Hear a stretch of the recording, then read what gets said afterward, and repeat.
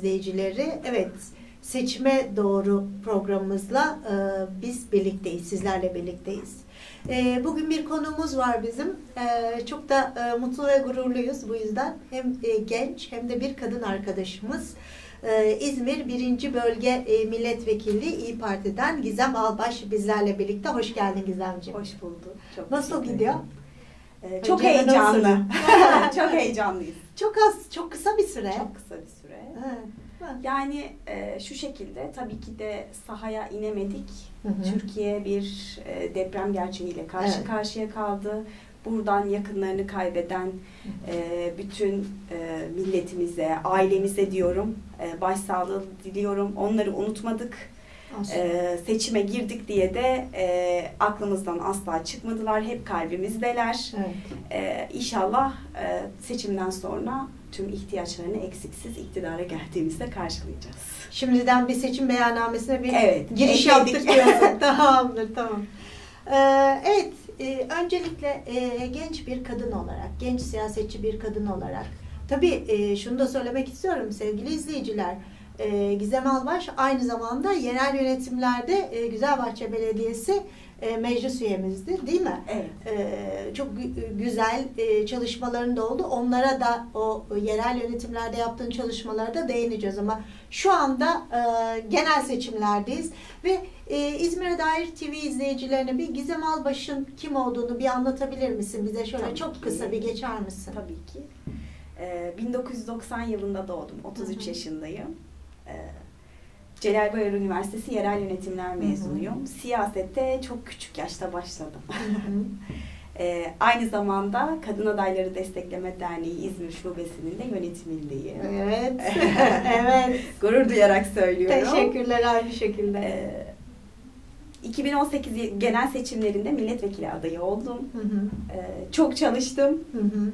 Sonra 2019 yerel seçimlerinde Millet İttifakı'nın CHP listelerinden İyi Parti kontenjanı olarak belediye meclis üyesi seçildim. Güzelbahçe'nin ilk en genç kadın meclis üyesiyim. Ne belediye kurulduğu yıldan itibaren. Ne kadar gurur verici, ne kadar e, güzel. İyi Parti'nin de tabii böylece ilk belediye tabii. meclis üyeliği ünvanını almış bulundum. Hı. Güzelbahçe'de e, tabii çok e, çeşitli projelere imza attık. Çok kısa bahseder misin? Çok tabii kısa ki, alalım. Hayvan Hakları Komisyonu'nun kurulmasını önerdim. Benim Hı-hı. için çok önemli. Yok muydu daha önce? Yok Yoktu. Muydu? Evet. Yoktu. E, dört yıl o komisyonda çalıştım. Hı hı. Farkındalık projelerine imza attık. Hı hı. Çok sayıda köpeği sahiplendirdik. Ne kadar? E, Güzelbahçe Belediyesi'nde barınak yok. Hı hı. E, geçici hayvan bakım evi var. Yani hı hı. sağlık sürelerine o kanunun e, uygun gördüğü süre zarfında evet. kanuna uygun bir şekilde tedavilerini, kısırlaştırmalarını yaptıkları. Orasıyla eşgüdümlü çalıştık. Hı hı. Buradan da oradaki bütün veteriner arkadaşlara, emekçilere selam gönderiyorum. Hepsi gerçekten işini e, hakkıyla yapan insanlar. Yani gece yarısı bile yataklarından kaldırdığım ne oldu. Kadar güzel. Evet. İyi bir ekiptik diyorsun. İyi bir ekiptik. Çok bir güzel. halbulansımız var. Hı hı. E, halbulans alınmasını ben e, özel şahsında aday yani hı hı belediye meclis üyesi adaylığı süresince beyannameye eklenmesini o seçim beyannamesine belediye başkanından ben istemiştim. Ee, sağ olsun o da e, uyguladı. Şimdi bir ambulansımız da var. Çok İnşallah güzel. sayıları çoğalır. İnşallah. Çok İnşallah. harika şekilde çalışıyoruz orada. Çok Tabii güzel. E, şu an kanunun e, öngördüğü şekilde Ölçüler çalışabiliyoruz. O ölçülerde inşallah iktidarımızda e, onları da e, revize edip hay, sokak hayvanlarının yaşam hakkını e, daha da e, güzel hale getireceğiz. Çok güzel. Peki senin orada hemen ona da atlamadan yerel yönetimlerde verdiğin bir önerge var. Yanılmıyorsam sonra Büyükşehir Belediyesi'nde de evet. Ondan da e, bir kadın olarak gururla bahseder misin? Tabii lütfen? ki de. Çok seve seve. Evet. şöyle bir haberlerde bir gün bir şey çıktı. Ee, bir erkek şiddetine mağdur kaldı. Bir Hı. kasiyer Hı. hijyenik pet eşine evet. önerdiği için. Evet.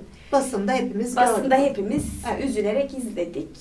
Ee, yani hijyenik pet bizim toplumumuzda e, söylenmesi ayıp bir şey gibi hı hı. gözüküyor. Hı hı. Aslında bu bizim ihtiyaç, fizyolojik ihtiyaç. bir Tabii döngümüz.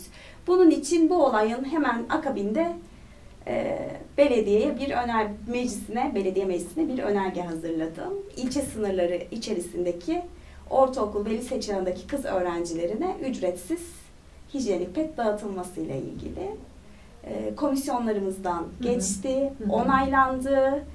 Onaylanmadan önce e, 15 gün önce e, Büyükşehir Belediyesi bu farkındalık projesini sağ olsunlar e, çok beğeniyorlar. Hı hı. Adettendir üretiyoruz dediler. Meslek fabrikasında üretmeye başladılar. İşte bu Ekonomik düzeyi e, ihtiyaç, ihtiyaç sahibi. sahiplerine, hane halkına, kadınlara bu destek veriyor. Evet, ulaştı. E, altılı masanın mutabakat metninde de şu an e, hijyenik pet bir lüks değildir, temel ihtiyaçtır İhtiyaçtır. diye e, girdi. Bu maddede yer aldı. Bu benim için e, çok gurur verici. Çünkü 33 yaşında genç bir kadın Hı hı. nüfusu küçük Güzelbahçe Belediyesi'nde bir önerge veriyor. Farkındalık kazandırıyor. Bu o yüzden Evet, çok, çok- gurur duyuyorum. Evet, evet, tebrik ediyoruz. Kesinlikle aynı şekilde. Ee, peki şöyle söyleyeceğim. Ee, seninle çok daha uzun sohbetlerimiz olacak. Ee, İzmir'e dair TV seyircileriyle seni buluşturacağız. Ee, daha sonrasında bize e, çalışmalarından, projelerinden, seçim beyannamenizden bahsedeceksin ama çok kısa bir şey söylemek istiyorum sana ilk giriş olarak. Bir kadın olarak siyasette var olabilmek için böyle yine çok kısa bize birkaç bir şeyle anlatabilir misin? Tabii ki. Şimdi ülkemizde bizim gibi birçok ülkede sadece bizde değil ki e, buradan Cumhuriyet e, kurulmadan önce Kurtuluş Savaşı'nda mücadele eden Hı hı. bu hakların verildiği söyleniyor. Hayır bu hakları kazanan tüm kadınlara şükranlarımı Tabii sunuyorum. ki. Onları minnetle Aynen. anıyorum. Aynen. Hep Çok birlikte. büyük mücadelelerle kadınlar bu hakları kazandı. Tabii ki de Mustafa Kemal Atatürk'e, Tabii ki. E, Ulu Önderimize Onun o- çok şey Tabii onun o borçluyuz. ileri görüşü o Tabii ki o ışık Vizyonu tuttu ama ki. kadınlar da bir mücadele verdi. Ama maalesef ekonomik hayatta, Hı hı. siyasal hayatta e, Cumhuriyet'in ilk dönemlerinde olduğu gibi kadınlar e, ayakta duramıyor. Hı hı. Bunun için e, yerel yönetimlerde meclis üyeliği yapmış bir kadın olarak şunu fark ettim. Yerel yönetimlerde bazı konularda kanunların revize edilmesi gerektiğini şahsım olarak düşünüyorum. Bu parti e, fikrimiz olarak değil, genç bir kadın olarak, belediye meclis üyeliği yapmış bir kadın olarak tecrübelerimden e, söylüyorum. E, bazı kanunlar, bazı temel e, belediye görevleri belediye başkanının, meclis üyelerinin vizyon ve misyonuna bırakılıyor. İnisiyatiflerine bırakılıyor. E, bunlar Bırakılmamalı bırakılmamalı. Yani bazı temel görevler e, zorunlu olmalı. Bu nedir? Kurumsallık. Yani e, belediye başkanı hangi partiden? Hı hı.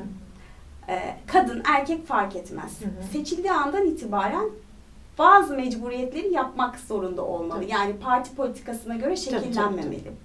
Bu e, örnek ve- vermem gerekirse biz kadınların e, ekonomik hayata katılmamalarının en başlıca sebebi e, çocuk bakımı Hı ve hı. bakmak zorunda kaldıkları yaşlılarının olması. Aynen. Çünkü maliyetleri inanılmaz Hı yüksek. hı. Hı E, aldıkları maaşlara bakılıp hı. bir de işte kreş ya da yaşlısı varsa yaşlısının e, bakım, Bakım hizmetine e, harcayacağı parayı göz önünde bulunduğunda çalışmak yerine ya çocuğuma evde Evde bakayım, oturuyor onlara bakmayı tercih bakma, bakmayı tercih ediyor. Ekonomik hayata katılamayan kadın zaten siyasal hayata katılamaz. Nasıl katılacak? Çünkü e, yani e, maddi anlamda erkeklerin daha güçlü olduğu bir toplumdayız. Hı hı. Önce belediyeler e, kreş ihtiyacını Hı hı. e, ve yaşlı bakım Yaşlı ihtiyacını zorunlu hizmet haline getirmeleri Tabii gerekiyor. ki. Tabii. Bu kadınların ekonomik hayata katılmasını sağlayacak. Hı hı. Ekonomik e, gücü eline almış kadın zaten hiç Gidecek. çekinmeden siyasete katılacak. Kesinlikle. Tabii toplumsal cinsiyet eşitliği de değil mi? Hani daha küçük yaşlarda e, verilebilirse hani kadınlara da sadece böyle sınırlar çizilmese Evet. değil mi? Yani hani e, Meslek kadın erkek bu kadın işi, değil bu mi? erkek işi Aynen denmesi. ayrılmasa da hani kadınların o omzunda zaten çok yük var. Daha da daha da bilmese de kadınlar da istedikleri gibi isterlerse siyaset yapabilseler mesela değil mi? Ne güzel olur. Tamam. Söylemek istediğin e, böyle birkaç bir şey var mı? Tabii Bu, ki. onlarla kapatalım e, bugün Genç arkadaşlara seslenmek Evet, kadınlara ve genç ve arkadaşlara genç neler söylemek istersin? Tabii ki e, 20 yıldır Hı hı. e, gençlerin umutları köreldi. hı. Ben lise dönemime baktığımda hayal kurabilen bir Hı gençtim. hı. Henüz daha e, bu iktidarın ilk başlarıydı. Daha henüz bu kadar e, umutlarımız Hı hı. söndürülmemişti. E, tabii sahada gençlerle sohbet ettiğimizde e, siyaset yalan söyleme sanatıdır anlayışı Hı hı. barınmış ve apolitik bir genç e, kitlesi oluşturulmuş. Bir de hayal kuramıyorlar. Geleceği Yani, göremiyorlar. Gö- diyorsun. tabii ki geleceği göremiyorlar. Yani ben kardeşimden örnek vereyim. Hı. E, bu seçimi kaybedersek yurt dışına mı gitse mi düşünüyor ve bu benim e, şurama düğümleniyor bu düşünce, bu düşüncesi. O yüzden biz e, üniversitede siyaset bilimi dersinde hocamız ilk tahtaya çıktığında size bir soru soracağım diye tahtaya siyaset nedir Hı yazmıştı. hı. İşte herkes bir şeyler söyledi. İşte siyaset yalan işidir diye söyleyen gençler çoğunluktaydı. Hocamız şu cümleyi kurdu. Siyaset yönetebilme sanatıdır. hı. Biz evlerimizde siyaset yapıyoruz, ekonomimizi yönetiyoruz. Hı. Biz apartmanımızda siyaset yapıyoruz, apartmanımızın yönetiyoruz.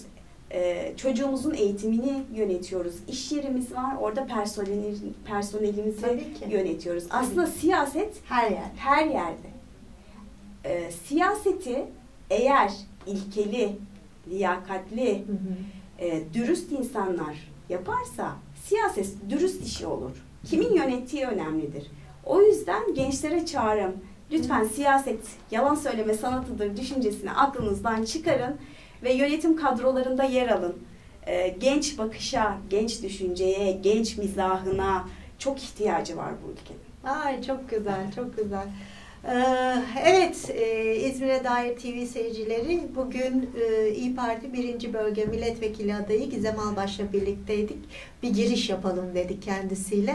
Ee, çok da güzel bitirdi sonunda. Kendisine çok teşekkür ediyoruz. Görüşmek dileğiyle. Sevgiler efendim.